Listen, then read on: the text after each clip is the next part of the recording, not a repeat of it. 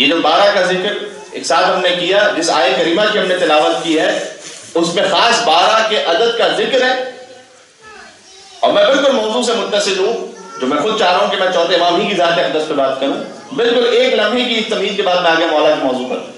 सूरह तौबा की आयत है, और वाकई क्या कमा कुरान के रायती बा कमाल है, लेकिन इस मौजू से कैसे रब्त इस आयत का? गौर फरमाइएगा इन शुहूर अल्लाह के नज़दीक जो गिने हुए महीने पहले लजीज तर्जुमा कर दूँ, जो गिने हुए महीने हैं, वो बारह हैं।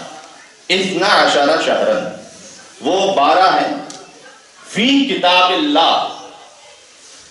और ये महीने अल्लाह ने लोहे महफूज में लिखे हुए हैं। अल्लाह की किताब में। और ये महीने आज कल से नहीं है। हज़ार साल पहले से नहीं है, दो हज़ार साल पहले से नहीं है। यौम खलक समावात वल अर्ज़। जब अल्लाह ने जमीनों और आसमानों को खल किया था, तब से अल्लाह ने लोहे महफूज में इन बारह को करार दिया था। अब देखें, एक बिल्कुल जाहिरी तफसीर तो यही है कि मुहर्रम सफ़र रबी रबी आखिर जमात आखिर, रजब, शाबान, रमज़ान, शव्वाल, जिलकत, जिलहज। ये मुहर्रम से जिलहज तक जो बारह महीने, सवाल ये है कि ये अच्छा आगे क्या कहा अल्लाह ने? कि ये बारह महीने अल्लाह ने अपने लोहे महफूज पे रखे। उस वक्त इन्हें खल किया, जब ज़मीन और आसमान को खल किया। तो आपको अंदाज़ा हो रहा है कि क्या ये खाली मुहर्रम से जिलज की बात हो रही है? ये जनवरी से दिसंबर की बात हो रही है क्या खाली? आगे फरमाया कि मिनहा अरबातुल इनमें से चार तो इंतहाई मोहतरम है। चार इंतहाई मोहतरम है। फिर और आगे फरमाया जालिक कय्यिम। और ये वो है कि जो इन्हें पहचान गया, उसका दीन उस्तवार हो जाएगा। अब अगर ये फकत मैंने अर्ज़ किया कि दिसंबर, जनवरी वाली बात हो तो फिर तो बात जचती नहीं आता। जिस अंदाज से अल्लाह सुबहान कलाम करता अच्छा मैं हदीस कहाँ से पढ़ रहा हूँ? जिससे अलावा मजलिसी ने तो लिखा ही है, लेकिन उनसे पहले शेख तूसी ने लिखा है इसे। अब शेख तूसी जैसा बड़ा आलिम, उससे बड़ा आलिम को गुजरा नहीं हमारी तारीख में। तो शेख तूसी ने लिखा, किस इमाम से रवायत करते हुए मेरे छठे मौला आता इमाम सादिक सलाम से रवायत करते हुए।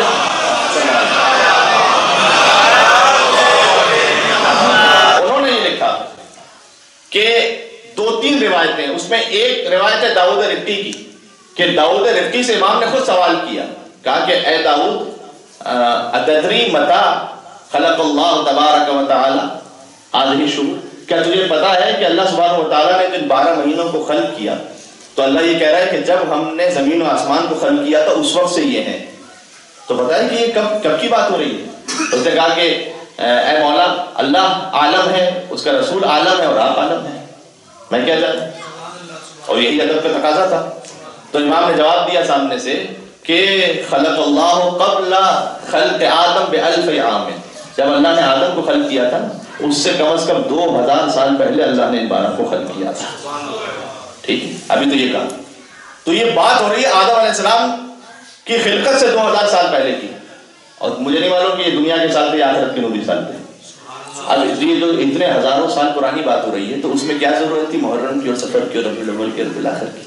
वहाँ तो जानकर कोई झगड़ा भी नहीं हो सकता था उस वक्त से जितने आज तो वहाँ, और हमारे अब हुआ ये कि कई असहाब है। उसमें से दाऊद रिश्ते भी हैं, और भी असहाब हैं, जिन्होंने इमाम सवाल किया कि मौला, ये बारह से मुराद क्या है? इमाम ने कहा कि आ, ये हम वो बारह है कि अल्लाह ने लोह महफूज पर जिनके नाम को आदम की खिलकत से दो हज़ार साल पहले लिख दिया था। पहले की वजाहत कर कहा हम ये बारह है और उसके बाद आगे? उसने कहा कि मौला ये आप अगर ये बारह है तो इसमें तो अल्लाह ये कह रहा है कि मिनहा अरबातुल इसमें से चार मोहतरम है। तो हमारा ये क्या बात हुई? जानते चार कौन से मोहतरम इमाम ने मैं एक इसी जुमले से आगे मौजूद पर। इमाम ने कहा कि हाँ चार ऐसे हैं जिन्हें अल्लाह ने खास एहतराम बख्शा है। हम बारह में से भी कमाला वो चार कौन से कहा वो चार जिनके नाम अली पर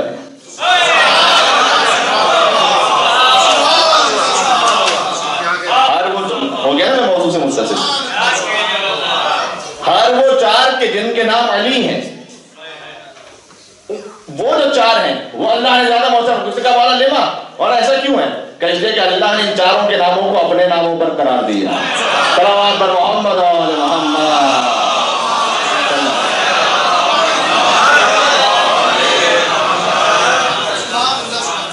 ये वो आखिरी मासूम है कि जिनकी दुनिया में तशरीफ़ आवरी हुई अमीर की शहादत से कबल अड़तीस थर्टी एट हिजरा, इमाम इस्लाम की आमद। और दो रिवायतों के अतबार से पंद्रह जमात अव्वल भी जो पाकिस्तान हिंदुस्तान में ज़्यादा मारूफ और पाँच शाबान मौजम के जो ईरान और इराक में ज़्यादा मारूफ। तो पाँच शाबान मौजम अगर आज की हम इतबार से सबूत करें, अड़तीस हिजरी अमीर उमिन की जो शहादत है, वो दो साल बाद तकरीबन। इसलिए, अब हम मुझे जुमला कहने की इजाज़त है यानी उस अली ने शाह नजफ से कहा कि तू अली है। और नजफ वाले ने इससे कहा कि तू अली इनका नाम अली तो ये सिलसिला इमामत के दूसरे अली, कि जिनके लिए कुरान में कहा गया कि वो चार खास मोहतरम इसलिए सबके नामों के चार के नामों को अपने नाम पर रखा है।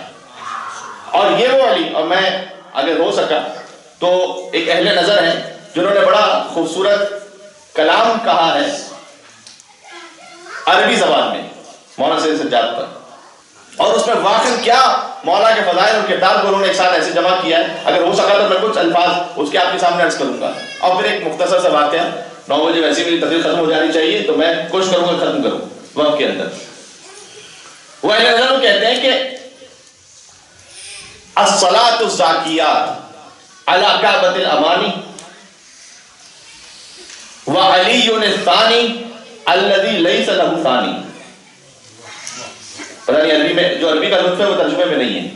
लेकिन आप चलें कोशिश करता हूँ मुंतकिल करूँ। असलात जाकियात, पाकीजा तरीन दुरूद हो। अला काबतिल अमानी। उस पर के जो सारी कायनात की उम्मीदों का काबा है।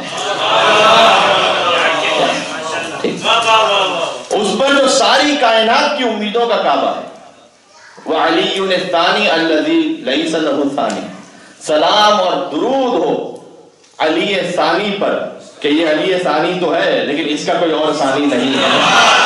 और जब इमाम का जब तस्वर आए तो आम तौर पर, चूँकि हम तो कह ही देते हैं बीमार करबला, जबकि जो इमाम की जो बीमारी है, वो कुल डेढ़ से दो दिन की हद तक है फकत, उस खास मसलहत की वजह से। तो जो तस्वुर लेकिन हमारे आता है, वो हमेशा के लिए नौजुबिल्ला बीमार हस्ती का तस्वुर। और आप गौर फरमाइए, का सलात किया, वो पाकिजा दुरूद और किस पर? अलाकाबत अमानी, जो दुनिया की हर उम्मीद का काबा है। वो ऐसा अली सानी है कि जिसका कोई और सानी नहीं है। अब इसमें मफूल और इसमें फ़ाइल से, अरबी जबान में जेर और जबर से, जेर हो इसमें फ़ाइल, जबर हो इसमें मफूल, क्या फ़र्क हो जाता है? फरमाया कि मुकैदल आदाए मुकैदल आदाए व मुकैदिल कजर वल अल्लाह कहा कि उस पर सलाम हो कि जो आदा की कैद में है मुकैदल आदा व मुकैदिल कदर वल है। उस पर सलाम जो आदा की कैद में है, लेकिन सारी कजाओ कदर जिसकी अपनी कैद में है। सज्जाद असीर ज़ोर हुए, अफसोस किसी ने ये ना कहा। ये अलामा जिशान जवादी साहब का लिखा हुआ शेर। सज्जाद असीर ज़ोर हुए, अफसोस किसी ने ये न कहा ये पाँव सुतून काबा है। जंजीर किसे पहना? इन कदमों के सदके में तो काबा बाकी। कसर में कोई मुबालगा नहीं कर रहा। जो कह रहा है हकीकत है इसलिए कि जब काबे को मुखातब करते हैं, कायनात का रसूल ये कहते हैं काबा अल्लाह ने तेरा बहुत एहतराम रखा है। लेकिन याद रख, एक मोमिन की इज़्ज़त और आबरू। को अल्लाह ने तेरी इज़्ज़त और आबरू से ज़्यादा रखा है। जब मोमिन का आलम यह है तो अमीर मोमिन का आलम क्या है? ताकि जो मुकैदल आदा, बजाहिर आदा की कैद में है। लेकिन मुकैदल कदर वल कदा कजा और कदर जिसकी कैद में। मौला बजाहिर हुई, बजाहिर कह रहा हूँ, बजाहिर कैद में थे, गुजर रहे थे, एक शख्स आया। उसने आगे कहा कि, ऐ मौला से सज्जाद मैं इस वक्त इंतहाई फ़कीर और नातवान और मुझ पर बहुत गिरा कर्ज है। तो मौला मेरी मदद फरमाइए इमाम ने पहले देखिए और शाम के मसाइल के तस्वुर को लेकर आइएगा और उस दरमियान ये जुमला सोचें कि एक बजाय एक शख्स क्या कर सकता है उसको माए बहने जिसके साथ में हो और रस्सियों में बंधे हुए हों, जिसके हाथों में हथकड़ियाँ हो, पैरों में बेड़ियाँ हो और कमर में लंगर हो, गले में तोफ हो, और उससे कोई ये कह रहा हो कि मेरा कर्ज आप अदा कर दें। तो यकीन उसकी कोई मार्फत थी। लिहाजा वो ये कह रहा था। लेकिन इमाम ने मजीद इम्तिहान लिया कि ये बता क्या तू ये समझता है कि सालत में तेरा कर्ज अदा कर सकता उसने कहा, मौला, ये जो जंजीरें हैं, ये तो जाहिरी हैं, वरना मैं तो जानता हूँ कि ज़मीन और आसमान के इख्तियार मेरे हाथों में मौजूद है। कभी ऐसे भी सुने सैयद सज्जाद हमेशा वो बीमार वाला तस्वुर ना लेकर आओ। वो जो मालिक के मुख्तार है, उसका तस्वुर लेकर आओ। जिसके हाथ में तनाव, कदर का इख्तियार वो है सैयद सज्जाद। का मौला मेरा यकीन है? क्या आप अगर चाहें। क्या खूबसूरत जुमला इमाम ने बयान करना करीम इतने करीम के बेटे हैं ना। फरमाया कि अच्छा अब जब तेरी मारिफत की मंजिल ये है तो ऐसा कर जब मेरी सवारी यहाँ से गुजर जाए ना तो इसी जगह खोद देना ज़मीन पर। जहाँ नीयत की, वो कदा कदर तकदीर में आ वो और कदर इख्तियार में आ गए कदू इसी इसी जगह को अभी इसी जगह को खोद लेना तेरा कर्ज भी अदा हो जाएगा और सारी ज़िंदगी के लिए जितना तुझे ज़रूरत है वो इस एक ज़मीन से तुझे अदा हो जाएगा मौला जिस सवारी पर मौजूद हो उसके कदमों की बरकत अगर चाहे सैयद सच्चा अगर वो अगर वो इरादा कर रहे हैं, अगर वो इज्न कर रहे हैं, इसलिए कि मजहर सिफात खुदाबंदी खुदा के इज्न का मजहर है। अच्छा अब सैकड़ों वाक़ इस सिलसिले में सुना सकता हूँ। एक तो मुख्तसर बातें आगे आगे का मिसरा सुने। मुकैद आदाय और मुकैद कदर वल कबाय। फिर फरमाया कि मुदल से में सऊद व जाजर मलक मौत। उस पर सलाम। पहला मिसरा क्या था? जो उम्मीदों का काबा है, जो अली सानी है, जिसका दूसरा सानी नहीं है। वो कि जो आदा की बजाय कैद में लेकिन कजा और कदर जिसकी कैद में है। वो मुतलसिम सौत जिसकी आवाज़ में तिलिसम है, कि जब वो खुतबा दे तो खूफा और शाम को उलट कर रखते आगे फरमाया, मुतलसिम सौत बड़ा खूबसूरत जुमला है, वजाजर मलकिल मौत, उस पर सलाम हो जो मलिकुल मौत को भी डांट देने वाला है उसे भी तंबी कर देने वाला। ये मुबालगा राई की शायरी नहीं हो रही। बलग से शख्स आता था जब हज पर। बलग का अफ़गानिस्तान। अफ़गानिस्तान से आता था हर साल मक्का मुकर्रमा। यानी आज इस तरह से जैसे कोई चाँद पर जाए ना कितना तो वो आप तस्वर समझ लीजिए इतना सख्त सफ़र होता था। अफ़गानिस्तान के रास्तों से गुजर कर, और कितने सहराओं को क्रॉस करके फिर महीनों का सफ़र करके, लेकिन हर साल आता था। मक्का मुकरमा जाता था। लेकिन साथ में ज़ाहिर है, खुद हुजूर ने भी फरमा दिया है कि जिसने हज किया और मेरी ज्यारत न की, फकत जफा उसने तो मुझ पर जफा की। और हुजूर ने यह फरमाया कि जिसने मेरी ज्यारत की और मेरे चाचा हमजा सईद शोदा की ज्यारत न की, उसने भी मुझ पर जफा की यानी हज की रूह है ज्यारत रसूलुल्लाह, और ज्यारत रसूलुल्लाह की रूह है ज्यारत हज़रत हमजा सईद शोदा। ठीक? तो वो जाता था मक्का मुकर्रमा हज करके, बलफ से उसके बाद फिर आता था मौला इमाम जर्राबीन की खिदमत में, मदीना मुनवरा पहुँचता। आज मदीना पहुँच, इमाम के लिए ताजर था। ज़ाहिर जब भी वो सफ़र अफोर्ड कर सकता था इतना बड़ा तो ताजर था तो अच्छा खासे तोहफे लेकर आता था इमाम के पास। हर साल। एक साल जब जाने लगा अजाजरे मलिक मौत, इसी याद रखिएगा, जो मलिक मौत को भी तंबी करते हैं। एक साल, उसकी जौजा ने कहा कि जिसके पास तू जाता है, क्या वो बहुत गरीब है? अच्छा इसने बताया नहीं था कि मैं इमाम के पास जाता हूँ। शायद तकैये के हालात थे जो भी। तो इसने बताया नहीं था। इसने कहा था, मैं अपने दोस्त के पास जाता हूँ। अब इसने सर पीट दिया अपना कि क्या कहें उसने इसने कहा, नहीं नहीं, तुझे क्या बताऊँ? कहीं मैं इसलिए कह रही हूँ कि तू तो हर साल उसके लिए तोहफे लेके जाता है। उसने कभी तुझे कोई तोहफा नहीं दिया। कहता है मैं बड़ा शर्मसार हुआ, लेकिन क्या कहता? हालात ऐसे थे, मैं कुछ कह नहीं पाया। कि नहीं मालूम? मेरे लिए बीवी, वो क्या हो? तो कहता, मैं चुपचाप निकला, शर्मिंदा था कि मैं इमाम के हवाले से ना कह पाया कि मैं किसके पास जा रहा हूँ। कहता, मैं मकर मुकरमा हज के लिए पहुँचा, उसके बाद मदीना मुनवरा पहुँचा। और मेरे दिल में वही ख्याल कि मेरी बीवी ने ऐसा कहा था। अच्छा अब जब जैसे मैं पहुँचा, चाहे इमाम के लिए जो तस्वुर है ना, उसमें एक और चीज़ जो हमारे जहनों से निकालने की ज़रूरत है। इमाम का जो दस्तरखान है बाज ने तो यहाँ तक लिखा है कि सौ सौ जानवर एक दिन में जिबा होते थे और इमाम के दस्तरखान पर हर अपना और गैर आकर सैर हुआ करता था। इतना वसी दस्तरखान।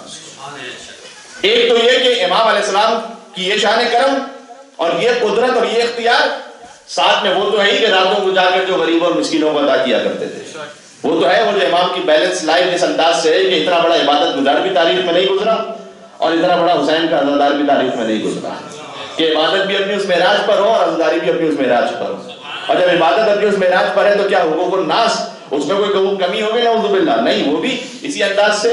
ये तो अलबत्ता मसाइब का जुमला है, लेकिन इसमें इमाम के फजाइल भी हैं कि इसीलिए तो असर था कि जब इमाम को जहर दिया गया था। तो मदीने का एक एक छोटा छोटा यतीम बच्चा अपने घर से बाहर आ गया था इमाम के जनाजे पर।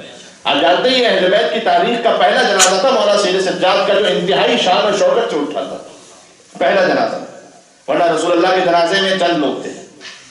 बीवी का जनाजा तो था ही रात की तारीखी में। अली के जनाजे पर भी वसीयत थी कि छुपा के रखा जाए, छठे इमाम के जमाने में कबल खुली थी। हसन मुश्तबा के जनाजे पर तीरों की बारिश थी। और हुसैन का जनाजा तो उठाने वाला ही नहीं था। है ना ये तारीख? तो कितनी शर्मसार तारीख उम्मत के लिए? कि पंजतन में से किसी का जनाजा भी कोई शान शौकत से नहीं हो सकता। लेकिन सैयद सज्जाद का जनाजा। ये बीमार के गिरिए का असर पैंतीस साल जो गिरिए का असर और उस हुकूक नास को, जिस अंदाज से इमाम सलाम ने समझाया हमें, कि जा जाकर कुछ सो रहा होता था। एक साहबी जब इमाम के साथ थे कहा कि मौला, ये तो सो रहा है, आपने रोटी रखी है इसके पास। अभी उठेगा, इसे पता ही नहीं कि कौन रोटी रखी है। मौला, बताइए तो सही क्या रखे जगह तो कैसे? कल इसकी खातिर रख रहा हूँ लाता खुद हुसैन तुम था क्या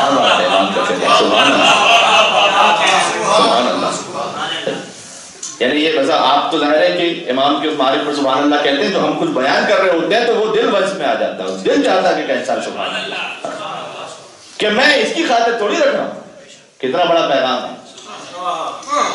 कितना बड़ा पैगाम हर खिदमत करने वाले के लिए, हर कम्युनिटी सर्विस प्रोवाइड करने वाले के लिए।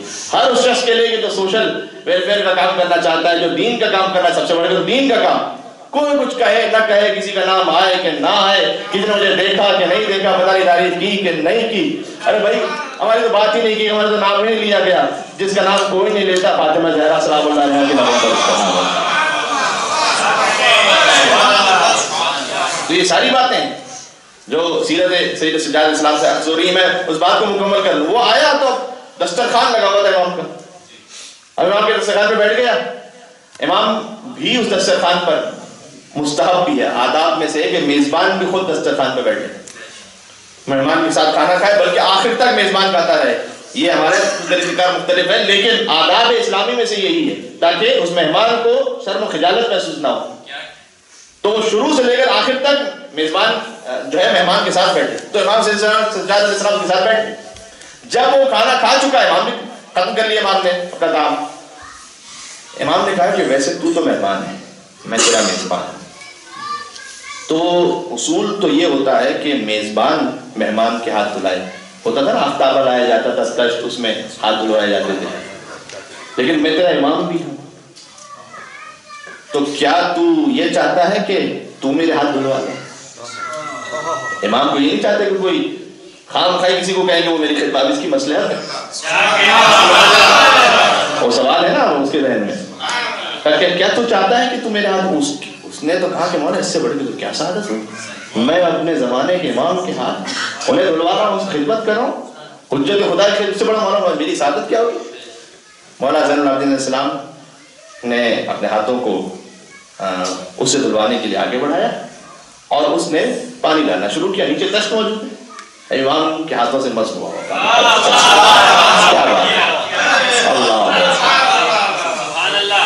अच्छा एक तिहाई तश्त भर गया। इमाम ने कहा कि माँ, ये क्या है? कहता है, माँ, पानी है। इमाम ने कहा, बल याकूत तो अहमद पानी थोड़ी है जरा ये देख के सुर्ख याकूत है इसमें। कहता है सुर्ख याकूत और वो पानी नहीं था सुर्ख याकूत इमाम ने कहा फिर हाथ धुला एक तिहाई और हो गया अब दो तिहाई हो गए। इमाम ने कहा हाँ ये क्या है? कहता है माओ पानी है। इमाम ने कहा बल जबर जुदुन अफजल। सब्ज जबरजुद है। ग्रीन डायमंड से खास किस्म के। उसने कहा कि हाँ मौला ये तो याकूत भी नीचे है, उसके ऊपर जर्द, जो जो सब जबरजुद है। इमाम ने कहा, फिर फिर हाथ धुला, उसने हाथ धुला पूरा हो गया तश्त इमाम ने कहा, वहाँ क्या है? कहता माओ इमाम ने कहा बलदुर अबियस जरा देख के सफ़ेद मोती है। जब पूरा तज भर गया, इमाम ने कहा, इसे अपने साथ ले ले। और जाकर अपनी बीवी से ये कह देना कि जिसके पास तू आता है, वो गरीब नहीं है, वो कायनात का गरीब है। इमाम की जाने से हदिया था, समेट के पहुँचा बल। जैसे उसकी बीवी ने देखा का ये तो लाखों दिरहमों दीनार की मालियत का सोना और चांदी और हीरे और जवाहरात ज़बरदस्त और याकूत और दुर्रबियत। ने कहा कि आप तुझे खबर हुई, मैं कायनात के इमाम के पास जा रहा था। तो बीवी ने उसे हाथ जोड़कर कहा कि मुझे इल्म नहीं था। अब ऐसा करना, अगले साल जब तू जाएगा ना तो मुझे साथ लेकर चलना। मुझे साथ लेकर चलना, ये मेरी तमन्ना है। मैं अपने मौला का दीदार कर लूँ उसने कहा, ठीक है। अगले बरस हज का मौसम आया, फिर लेकर चला, अपनी बीवी को लेकर चला इस बार। मक्के से हज कर लिया, मदीना आ रहा था। रास्ते में बीवी मरीज़ हुई, मर गई। अब ये शख्स, उसने गुस्लो कफन का इंतमाम, नमाज़, जनाजा, तदफीन वगैरह वहीं, जो कुछ इम्कान में था, वो करके अब तनहा पहुँचा इमाम के पास। इमाम के पास आके कुछ कहा नहीं इसने फिर दस्तरखान लगा हुआ था दस्तरखान पे बैठ गया। इमाम ने जाने देखा, कहा कि बल्ब से तो दो चले थे। मेरे पास तनहा क्यों आ रहे थे कहता, मौला, वो मैं क्या कहूँ आपसे, आपके तो इल्म है। कि वो मेरी बीवी आ रही थी, वो रास्ते में मरीज़ हो गई और मर गई। इमाम ने कहा, वापस जाकर देख, शायद ज़िंदा हो। अजाद जिन्हें मलिकुल मौत का मतलब समझ में आया, सलाम उस पर जो मलिकुल मौत को तंबीह करने वाला है। जाकर देख, कहते, मौला, हो ही नहीं सकता, वो तो मर गई थी।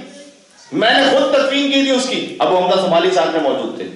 क्या खबरदार तुझे इमाम की मारिफत नहीं? ये कौन कह रहा है?